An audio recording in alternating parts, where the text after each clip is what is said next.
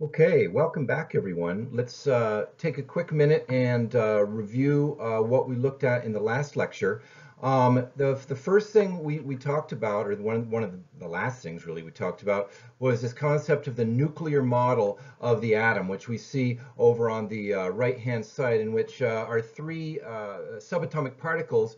Um, two of them, the protons and the neutrons, live in the nucleus of the atom, and uh, electrons uh, sort of in a thin veil surround that nucleus of, uh, of the atom, uh, which, which is our, our currently understood description of uh, the model of the atom, uh, which we see here. We moved forward and we said that every, regarding elements, every atom of uh, different elements are, are different from one another, meaning they have a different number of protons, neutrons, and electrons. And these uh, elements, you know, about 115, 120 of them are arranged or rather listed in a particular fashion, that of the periodic table. In many ways, or in a, few ways anyways, we started to unlock the, uh, the, the secrets of the shape of the periodic table. We will continue to do that uh, for the remainder of this unit of study and into the next unit of study. Um, but it is a, a, a, method of listing all of the elements, pure substances, that, uh, that exist and in, in, a way that we can, uh, we can work with them. Um, one pattern that emerges uh, in the placing of the elements in the periodic table is with respect to the columns. Uh, the, what, the, the elements in uh, the same column of the periodic table bear similar reactivity, although we haven't defined that yet. And that is uh, termed periodicity, which we defined last time, which is, so again, similar reactivity in elements in the same vertical column of the periodic table. And that is more pronounced on the columns on the periphery, the outside of the periodic table, more so, as we'll find, than as we look at elements on the, uh, as we go to the inside of the periodic table. This diagram over on the right is sort of a, a cutout of the S block and some of the P block of the periodic table um, because our model of reactivity is only going to work uh, for the most part within the S block and the P block, and as we'll see uh, moving forward. Um, uh, speaking of block nomenclature, uh, we have now, or we listed to end the last uh, lecture, four ways of deconstructing the periodic table based upon differences. Um, the, those four were the block nomenclature, which I just referred to, P block, uh, S block, D block, F block.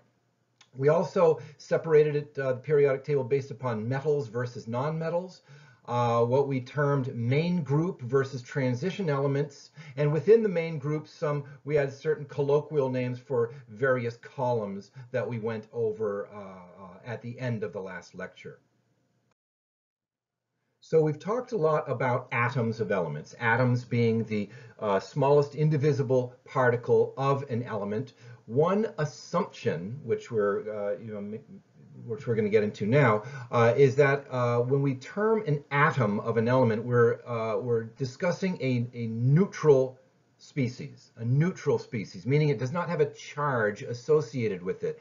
Since electrons carry the negative charge in an atom and protons carry the positive charge, in every atom that we're discussing, there must be an equal number of protons and electrons to cancel out all those charges to zero. Now we're going to start to look at uh, an atom and, and, and discuss it uh, whether it had uh, lost or gained one or more electrons, giving an imbalance in charge, giving it an overall positive or negative electric charge. If we have an imbalance in the number of electrons and protons, there, there is going to be uh, an excess of one, so that, uh, that, that, that uh, particle will have a charge on it. These, charge, these charged particles are known as ions ions. An, an, an, ion is an atom or molecule, we'll stick with an atom, uh, which has lost or gained one or more electrons, giving it a positive or negative electrical charge. Notice here, lost or gained more than one electrons. Electrons, not protons, not neutrons. They live in the nucleus, they never move. Electrons can uh, come into an atom, leave an atom. They're the ones with the mobility. So we're going to be seeing more and more of that later. So some housekeeping on ions. Um, what we're seeing here, I don't want you to worry about the, the nomenclatures we see here. uh, you know, what, what these names are. We will get to them eventually, but don't worry about that now. Um, one of the main one of the main concerns with an ion is whether it is positively charged or negatively charged positively or negatively. So a negatively charged ion is known as an anion. A positively charged ion is known as a cation. So uh, dependent upon that imbalance in protons and electrons, we can have a negatively charged uh, overall charge, uh, that of an anion, uh, and uh, or a positively or positive overall charge, that of a cation. So what I would like uh, us uh, to take a look at now or to understand is, is looking at the ways of depicting the ions themselves. You know, how do we uh, sh sh show a, a, difference in, uh, you know, a difference in, in, uh, in the element, but also a difference in charge. Now, I am taking some license here. We have some chemical symbols here over on the upper left-hand side. Cl, well, that's chlorine. Uh, o is oxygen. Na is sodium, Ca is calcium, and so on. We'll, we'll, be getting used to these. Uh, the more we use them, we'll be able to say, okay, the, the Ca is calcium, Cl is chlorine. But what I would really want to uh, look at right now are the positioning of the charges. How do we show that in, we don't have an atom anymore, but rather an ion? And if we do have an ion, what charge is that, positive or negative? Or how many of those positive or negative charges? Well, here's some basic rules down on the bottom here. Notice in all cases, if we're depicting an ion, the ionic charge is always placed as a superscript. Uh, that's uh, slightly above, as we know, like, you know, in, in, the exponent region, if this were a number or something like that. It's always in a superscript. Uh, along with that uh, superscript, if, uh, if it's a single ionic charge, whether uh, positive or negative, um, we, we give that charge, plus or minus, without a number. So for instance, the sodium cation would be Na plus, not Na1 plus. That would be wrong. So it's important to get that right. If it's a single ionic charge, it's just that charge. Multiple ionic charges uh, we give uh, as, as follows. So if we look over on the, uh, the, the right-hand side here, this superscript on oxygen is 2 minus, so that's a, a doubly negative anion. On calcium here below it, that, uh, that is a doubly positive ionic charge. Notice it is calcium 2 plus, not calcium plus 2. That's a common mistake. And uh, by the convention is the number first and then the charge. It may seem trivial at this point, but it, it is a, uh, a necessity to, to know that. So enough of the descriptive qualities of, of ions. Um, what about the practical utility of knowing uh, the charge on a, a, particular ion? If we know the number of protons in an ion and the number of, of electrons, we can very easily uh, calculate the ionic charge on that particle. And it's, it's always the number of protons minus the number of electrons. A couple of examples. It's uh, what is the charge on a magnesium ion with 10 electrons? Okay, we know the number of electrons, but what is the number of protons? The number of protons in magnesium isn't given in this problem. However, we can go to the periodic table and look for the chemical symbol of magnesium.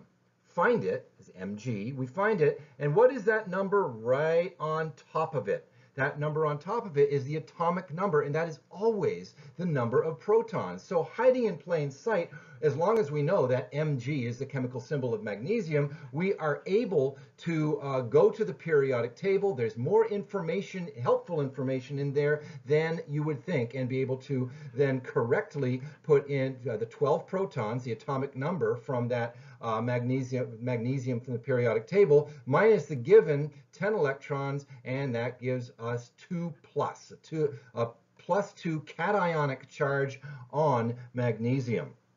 Similarly, same sort of question. What is the charge on a fluorine ion with 10 electrons? Well, we have that uh, piece right there. That's the number of electrons. What's the number of protons that we need to calculate our ionic charge? Well, we go, we go no further than a periodic table, find the chemical symbol for fluorine, which is F, and look at that number right on top of that chemical symbol. That would be the number 9. That is the atomic number. It is also the number of protons in a nucleus of fluorine. Always 9 minus 10 is a single negative charge, and thus uh, calculation of ionic charge in these sorts of questions becomes elementary. Okay, so here is where we're going to look at another, yet another pattern in the periodic table, and it's also where I am going to uh, ask you to bear with me. To take, I'm going to take a little license here as to we're going to be looking at specifically predicting ions from main group elements. Main group elements uh, being, of course, the uh, the S block, and the P block. Not all of them, but some of them. So our model, as I've said before, works with S block and P block elements, but not so with, uh, with transition elements. Transition elements form ions, rather cations, because they, they lose electrons in chemical reactions. They are metals um, with, it says here, various charges. That means our model that I'm going to be showing you in this course does not predict the charges on, uh, on uh, transition metals or transition elements. That doesn't mean they're inherently unpredictable. It just means the model we're using is only going to be with the S block and the P block. So let's look at this pattern uh, right now. Uh, we know any metals we look at are going to be positively charged cations. How do I know that? Because as we said before, metals tend to lose electrons, which carry the negative charge, in chemical reactions. If we, a neutral atom of a metal loses some of its negative charge, it must be positive, end up being positively charged. So metals are always positive ions, and that's what we're going to go with. But let's look at this. Let's look at the, uh, at the alkali metals. The alkali metals are always singly positively charged. That's a predictable ion that we can go with. The reasoning for this, we're going to find out in the next unit of study. But for right now, we're, if we can remember that first column on the left on the periodic table, the alkali metals, singly uh, positively charged. Moving over one to our alkaline earth metals, always doubly positive charged. 2 plus, 2 plus all the way down as we can see now we start to see a pattern emerge. From alkali metals, 1 plus, over to uh, alkaline earth metals, 2 plus. Is there any other metals that we can look at within the S and P block? Well, let's, again, that means we're skipping over the D block, the transition elements. And let's look here now. Well, there's a, a column of metals a column of metals and uh, aluminum being the main one that, that, we see that we see up here. Aluminum and gallium uh, if you want but we'll be working with al aluminum uh, more often. Three plus. Three plus. Now this pattern now emerges uh, and you can look at it any number of ways. If we count over from the left hand side we can well how many uh, blocks did I uh, go over? Well if I go through one block that's plus one.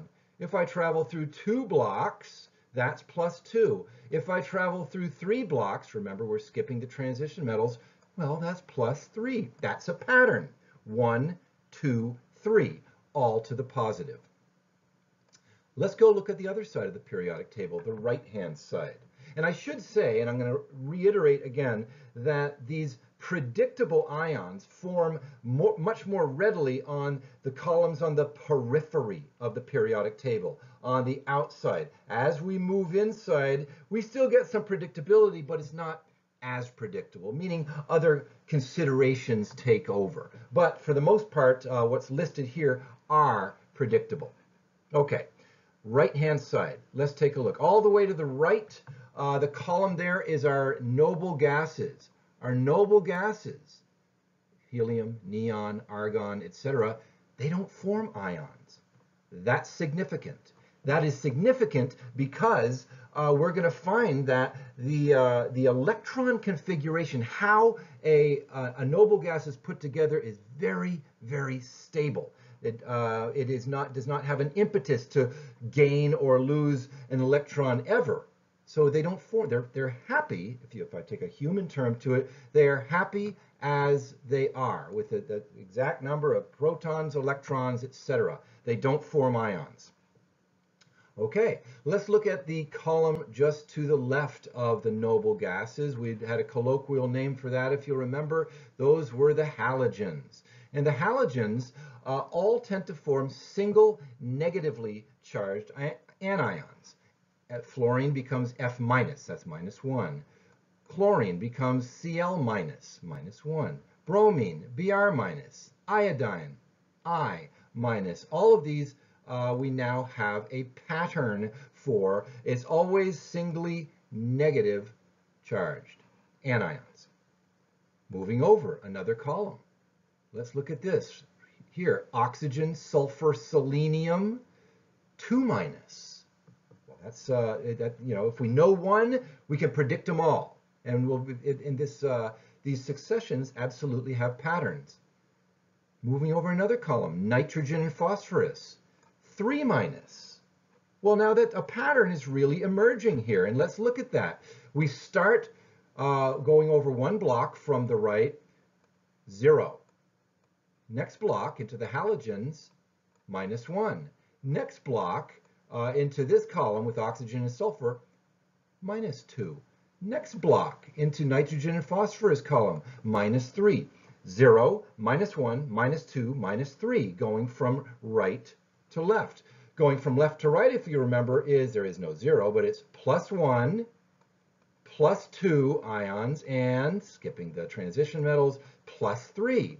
So really, it's not rote memorization for this, and it, uh, it, it's basically following a pattern. And that pattern, we're going to find, uh, has a meaning to it. Meaning, uh, in the next unit of study, as I said before, um, we're going to we're, we're going to devise a model which shows this. So um, a couple of the uh, sum summarizing points we can take from here. The transition elements do not have predictable charges, meaning we simply don't aren't putting putting in the time to create a model for, for them. And that noble gases don't form ions. We have no uh, desire to lose electrons or gains electro gain electrons. They're fine exactly as they are. And the, the model that we're going to be looking at in the next unit of study is going to explain that more. So we're going to shift gears somewhat uh, and, and harken back to something we looked at in a previous lecture, and that was with respect to what is the appropriate unit of mass measure for molecules, atoms, or subatomic particles. Previously, when we had introduced subatomic particles, we had given them given their mass in the ridiculously large uh, uh, units of measure of kilograms. And we said that uh, these subatomic particles are on the order of uh, 10 to the minus 27th kilograms, something infinitesimally small, unimaginably small with respect to kilograms. So there's no uh, unit of mass measure that's uh, up to this point that has been appropriately small enough to measure the mass of an atom or a subatomic particle. So again, we had to come up with another yardstick. And that yardstick was, the basis of that yardstick was a carbon atom a carbon atom. Why carbon? Well, uh, organic chemistry and uh, essentially the chemistry of life is based upon the element carbon, so perhaps that's why it was chosen. Um, a few salient features about a carbon atom that we're going to get uh, moved towards because we're going to introduce what is uh, known uh, uh, as the atomic mass unit, or AMU, if you will is that first of all, a carbon atom, as we see a picture over on the left hand here, has 12 nucleons. Now these are particles, subatomic particles, which live in the nucleus. And as we know, those are only protons and neutrons. They are collectively considered, if you like, nucleons because they live in the nucleus. Now this carbon atom also has six electrons surrounding that, uh, that nucleus, but if you'll remember, the mass of an electron was on the order of a 10,000th of that of a nucleon, a proton or a neutron and a proton and a neutron weigh almost exactly the same, we find. They're about the exact same mass. So uh, while we have 12 nucleons in uh, our carbon nucleus, we consider the mass uh, of the electrons to be insignificant, completely insignificant. If there's six electrons, that's six ten thousandths of an atomic mass unit in this uh, model, in this, uh, in this yardstick, we consider that insignificant. So the statement was made that one carbon atom weighs exactly 12 atomic mass units. Thus, since we have 12 nucleons, a proton or a, or a neutron, since they weigh about the same, uh, can be said to weigh approximately, and it's not exact, it's approximately one atomic mass unit. Fair enough. So let's uh, let's move a little bit further, and we'll look at uh, uh, carbon as given in the periodic table. So over here on the lower left-hand side, we have our description of carbon as given in the periodic table, and on the number on top of the chemical symbol, we have as our atomic number. That's the number of protons in its nucleus, and indeed we see that up here, six protons. It defines the element. If I don't have six protons in my nucleus, I am not an atom of carbon. I'm something else. Now down here on the bottom, this is something I pushed off till later. It's the atomic mass of our element, in this case of carbon. Uh, is given as uh, abbreviated as uppercase M. And we have here about is 12. We see 12 right there on, on the bottom. And 12 is because we have six protons and six neutrons that weigh almost exactly uh, uh one AMU. But we also have something else. Look over here we have one on the order of one one hundredth, 12.01. 12.01, that's going to be a problem. Ultimately, if we want to look at any atomic mass, which we see here, uh, we could make the statement that an element's atomic mass is its mass in atomic mass units. So 12.011 down on the bottom here of carbon means that a carbon atom, or this depiction of a carbon atom, weighs 12.011 atomic mass units. Fair enough. My problem, however, is that if a, pro a proton and a neutron weighs almost exactly 1 AMU, why do we have a little overage here? Why isn't carbon's atomic mass exactly 12 AMU? Because one atomic mass unit equals exactly 1 12th that of a carbon atom. Now you could say, well, this is the mass of the electrons. It's the mass of the electrons uh, which comes up, which gives us this extra mass 12.01, that 1 one hundredth of an atomic mass unit. However, remember, we have six electrons, six electrons around carbon. They all weigh on the order of about a 10,000th, that's 10 to the minus 4 of an atomic mass unit. Looking down here, 1 100th of an atomic mass unit dwarfs that number. So it can't, so that 0.01 atomic mass units is far too much energy, or I'm sorry, mass to account for to account for that extra mass on there. So the question is, why isn't carbon's atomic mass exactly 12 AMU? Well, let's take a look at the next slide. The answer is isotopes. Isotopes, by definition, are atoms of an element which contain different numbers of neutrons different numbers of neutrons. That's that third subatomic particle, the neutron, which, which lives within the nucleus, uh, which we haven't talked about a lot. Now we know two atoms of the same element must have the same number of protons because the number of protons in an atom defines the element. We further know that an atom of an element can lose or gain electrons at will, becoming ions, whether cations or anions. Now we're talking about uh, atoms of an element uh, which have different numbers of neutrons. So let's look at some salient features about what are considered isotopes.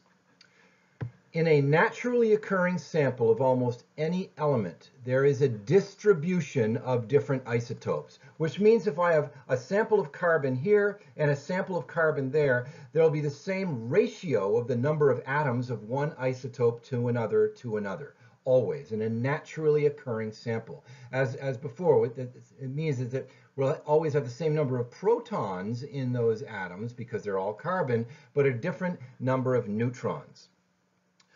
So how do we express this new uh, idea of different particles? Even though they're the two atoms of carbon, they're different particles. If they have two different numbers of neutrons, well, they weigh differently. They, they, they, they have different masses. Well, we can illustrate this using what are called isotopic symbols. And I want to define the isotopic symbol before we move ahead and look at it uh, in, on more of a piecemeal basis and describe it a little bit more. A general isotopic symbol has at its heart this uh, general depiction here, where over on the right-hand side, given as X, is the chemical symbol. Again, if it's carbon, it's C, if it's oxygen, it is uh, O, and so on and so forth. So we're, we're fairly uh, adept at that. But on the left-hand side of an isotopic symbol are a stack of two numbers given as M and Z, which we see right here, but, it's, but they're stacked always. And I will say that that stack is always top heavy, meaning that uh, the M is always a greater number than Z, and we're going to see why. So let's define this. Let's look on the, uh, the stack of numbers. We'll start at the bottom first because that gives us some information that's already in the periodic table. Z. Z was our atomic number. If you'll remember, that's given on any periodic table, our atomic number. And the atomic number depicts how many protons are in the nucleus, always. So we immediately have that number. So the lower number on that stack of numbers in an isotopic symbol is essentially the atomic number. It's the number of protons that that, that uh, uh, atom of the element has. And it always has to be the same number of protons or it's not that element anymore since it's a defining feature. The top number is what is new. And that is given as the mass number, the mass number. Now the mass number given as uh, capital M here is the total number of nucleons. Nucleons. Remember, I defined a nucleon as the, the uh, total, um, or as, as a subatomic particle which lives in the nucleus. That's protons and neutrons. Protons and neutrons uh, in the nucleus. So very quickly, if given an isotopic symbol, we can uh, we can immediately deduce the number of protons, that's given as the atomic number, but also the number of neutrons by subtracting that bottom number from the top number. Number of protons and neutrons minus number of protons equals number of neutrons. So there's a lot of information we're able to glean from an isotopic symbol. So let's get out of the general description or, or, depiction, if you will, and look at some actual isotopic symbols. Here's a couple of them. Uh, over on the left-hand side, we see chlorine, uh, Cl. That's the elemental symbol for chlorine. And here we have a couple numbers stacked on the, on the left-hand side. We have a 17 there and a 35 there. The 17 on the bottom is the atomic number, Z. That means 17 protons. I can immediately uh, work that out. The top number is the mass number.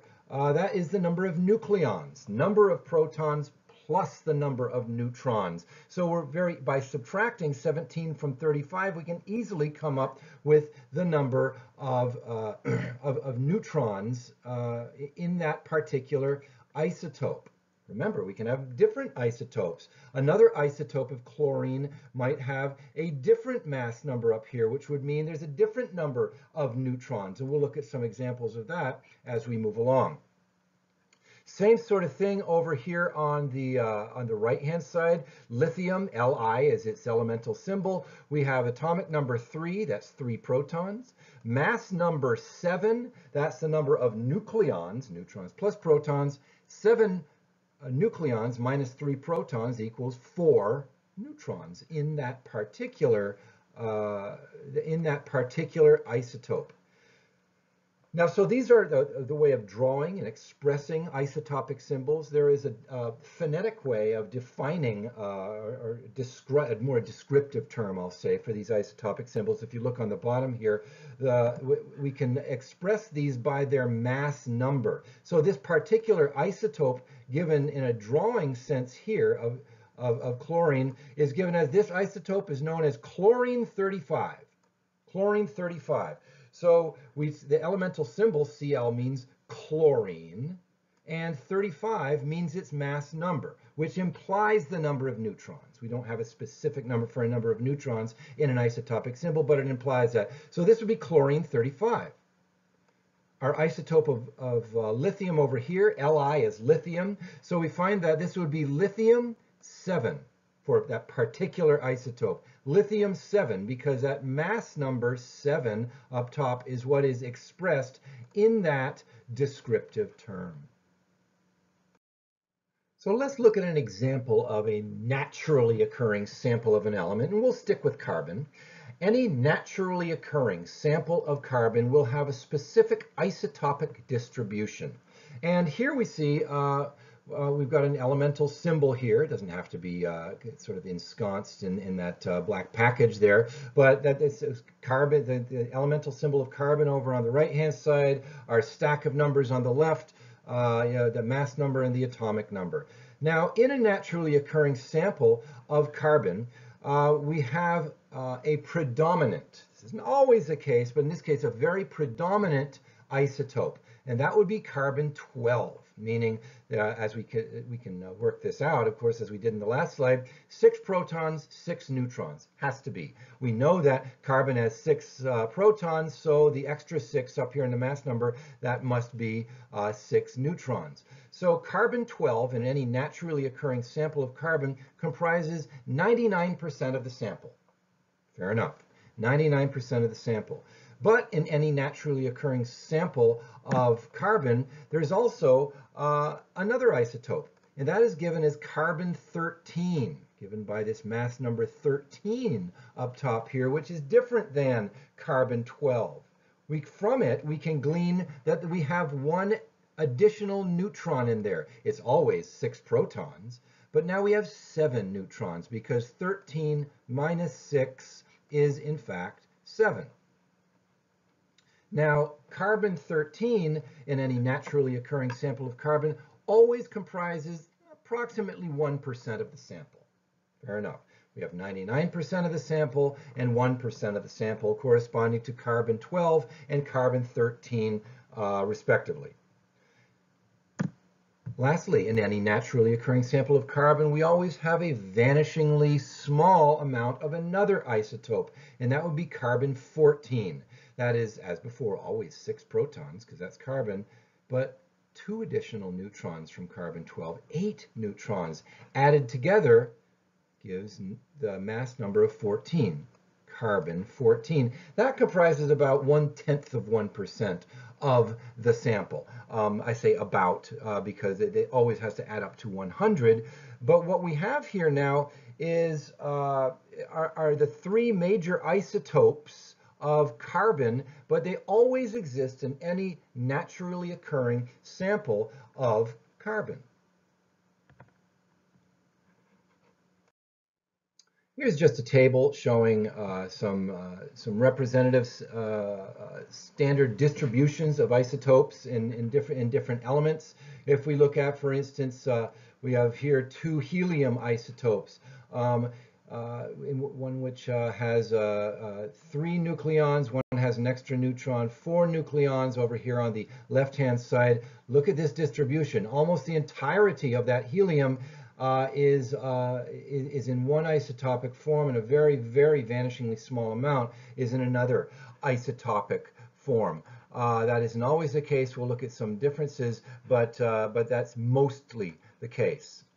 If we look at the major isotopes of oxygen down here on the lower left-hand side, uh, uh, oxygen 16, 17, and 18, we'll notice that in our uh, uh, abundances within that naturally occurring sample, we have one of them which is comprises the vast majority of this, that sample, just like we did with uh, our, our, our carbon.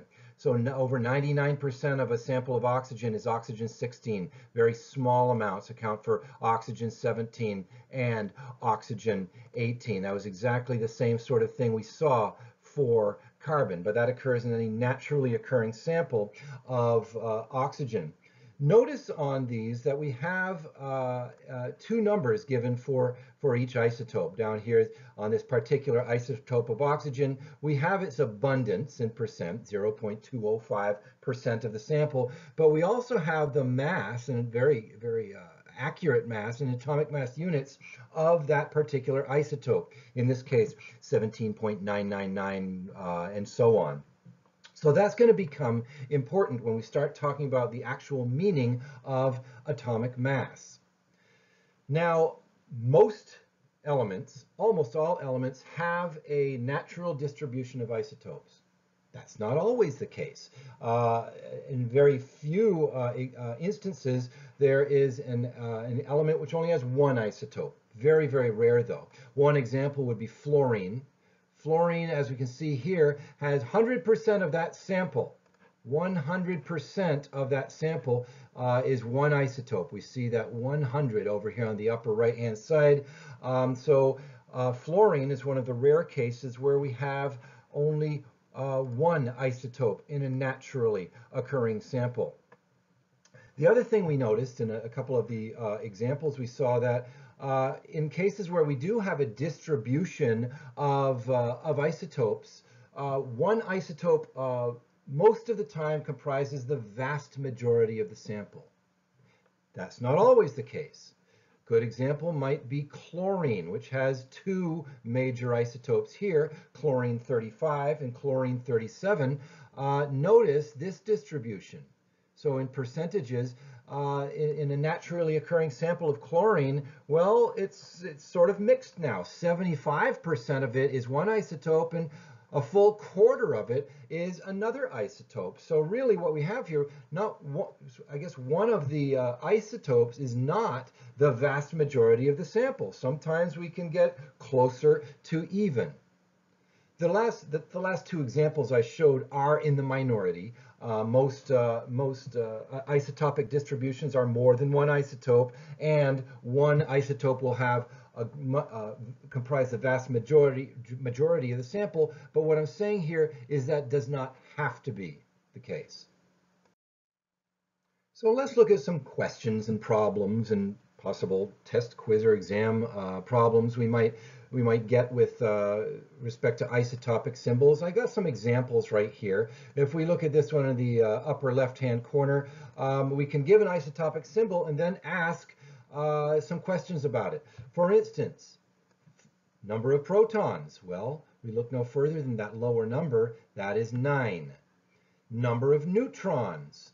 Well, we subtract the upper number, the mass number, from the lower number, the, uh, the, the, the, atomic number, and 19 minus 9 equals 10. That's the number of neutrons. The atomic number of that element, well, we could do a number of things. We see, uh, we see uh, that the elemental symbol is F. We could go over to the periodic table here on the upper right-hand side and see that that number on top is 9. That is the atomic number, which it is. Or we could simply look at, the, at realize that the uh, that lower number on a uh, an isotopic symbol is indeed the uh, the uh, uh, atomic number of the element. And lastly, the name. Well, here's you know F is is our elemental symbol. The name of that is fluorine. Our next example right here. Um, most of the time, uh, isotopic symbols are not given as uh, given as ions because isotopic symbols we're really talking about number of nucleons, uh, the, the subatomic particles in the nucleus. Ions are talking about an imbalance of electrons which surround that nucleus. But I do this here just so it, it helps to be able to keep a tally uh, of these things. And here I have Fe3 plus, 3 plus and, uh, and then we got some numbers over on the side. It's technically an isotopic symbol. So if we are asking number of protons, number of protons on that, we look no further than that lower number on that, uh, on that left-hand stack. That's 26. That's the atomic number. That is the number of protons, 26. Next one, number of electrons. And we have to think a little bit here. If we have 26 protons, and this 3 plus here tells us that we have three less electrons, which carry the negative charge, than protons. which carry the positive charge. We would, in our mind, if, well, we have to have three less than 26 protons, it would have to be 23. Again, uh, the, the last question here, the mass number. Well, that's just a housekeeping tool. That's called the mass number, 56, so we write that down there. On to the next one. It, uh, seems like I am imposing on you that a question mark is an actual elemental symbol. It is not. Um, just that's what we're going to have to eventually answer uh, in, uh, in, in uh, to one of these questions moving forward. But let's uh, take these one at a time. Number of protons. Well, that's that lower number, 16. Number of neutrons, that is 32 minus 16. Mass number minus atomic number, that's also 16 atomic number. Well, that's the same number as protons. We're putting a lot of 16s in here, sort of psyching you out a little bit. The name of the element. Well, how are we going to do that? We always have our periodic table at the ready, and if we know that number of protons here on the bottom is the atomic number, we seek out on the periodic table atomic number 16. And we see that there it is. The name of that element is sulfur and its symbol is S. Final answers. So this whole question of isotopes now brings us full circle back to that uh, atomic mass atomic mass given in the periodic table, which if we have our chemical symbol here, that's the number underneath. And we had some questions about the atomic mass. It's almost never uh, an actual integer. It's almost always a decimal form. And what accounts for that extra or, or lacking mass in there? And carbon, we had uh, the atomic mass is 12.01 atomic mass units. Where's that 0.01 coming from? And that uh, is best uh, uh, answered by defining what an atomic mass actually is. An atomic mass is not an actual mass, it's an average. Specifically, it is a weighted average of all of the isotopic abundances and their different uh, mass amounts. If we look at carbon, again, down, down here, we have our atomic mass over on the, the left-hand side, 12.01. Well, Let's look at our natural distribution of isotopes. Most of our sample, 99% of it, is exactly 12, exactly 12 AMU.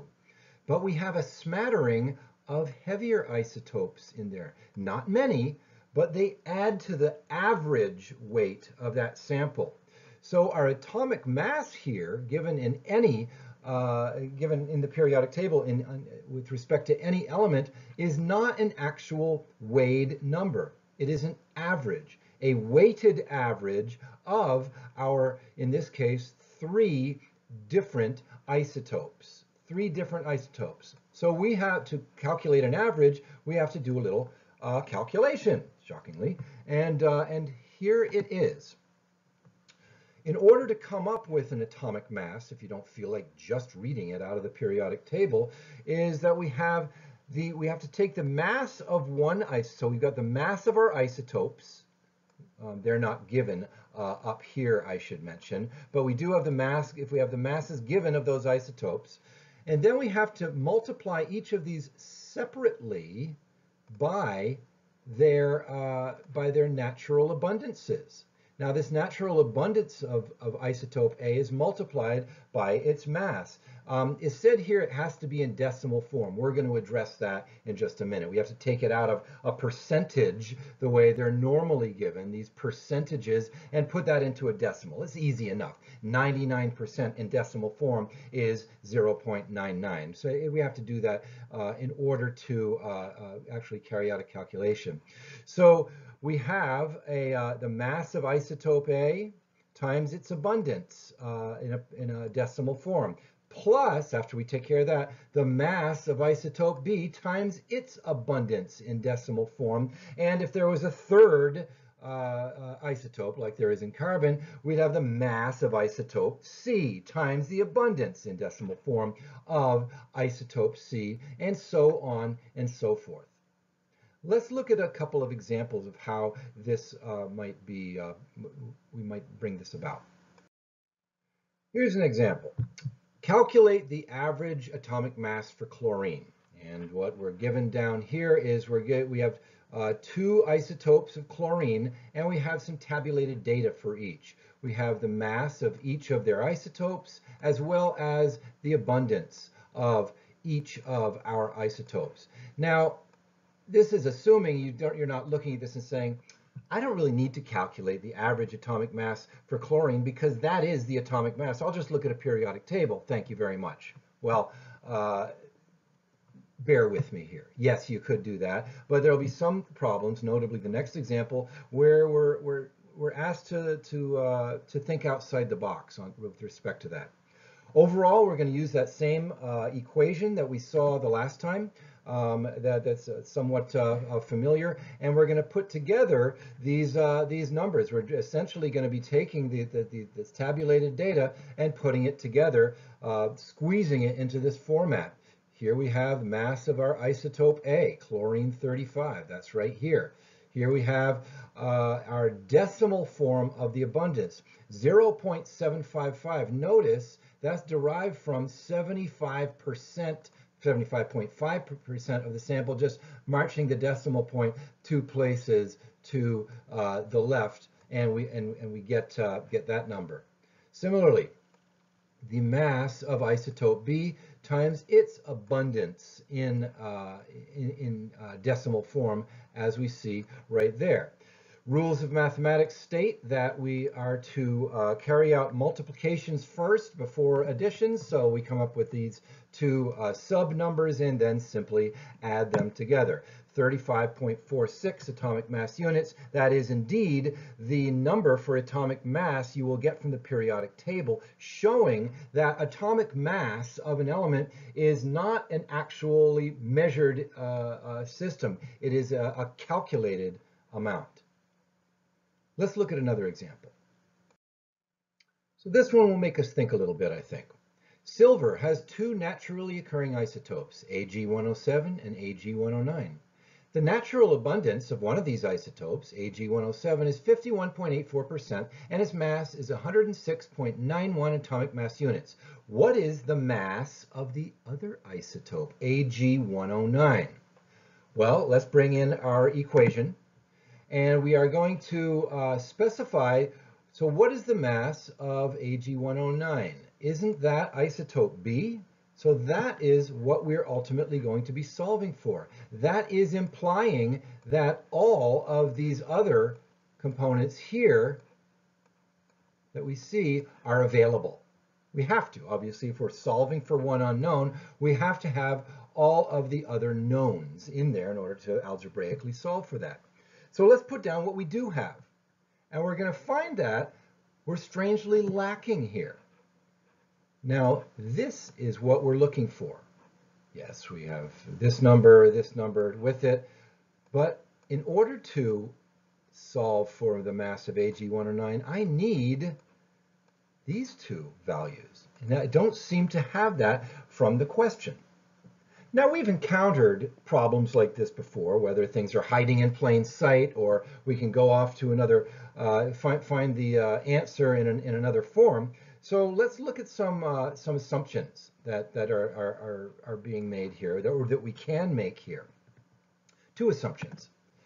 The first necessary assumption, or rather observation, is that um, if we want to calculate the abundance of Ag109 or isotope B, well, we have to realize that the, the statement was that silver has two naturally occurring isotopes, and we already have one of them. So they must comprise 100% of the sample. So if we subtract the amount of the other one, that will indeed give us this number that, that we need right there. So we could put that one in there. Notice I've changed it to decimal form. But also in order to uh, solve this problem, I need the average atomic uh, mass of silver. And what could we do there? Well, the second uh, necessary observation, we can just get that directly from a periodic table. And indeed, uh, we can do that. We would find that that is 107.87 atomic mass units. Now, we have uh, everything we need and we only we can algebraically solve this for the mass of, uh, of that uh, second isotope of silver. Um, so again, I'll, I'll, put this out here in, in algebraic form. Um, uh, basically what we need to do so uh, is to, you know, we, we combine uh, these two right here and we get a number um, and we, uh, we use that number, uh, you know, uh, to, to against one another in order to get to the point where we are slowly getting to solving for what that mass of AG109 is, 108.9 atomic mass units. So I know I don't always say it, but this is the end of our uh, third unit of study. The next lecture we will start uh, into will uh, begin our fourth unit of study where we start talking about that third and most important subatomic particle really for chemistry, that of the electron.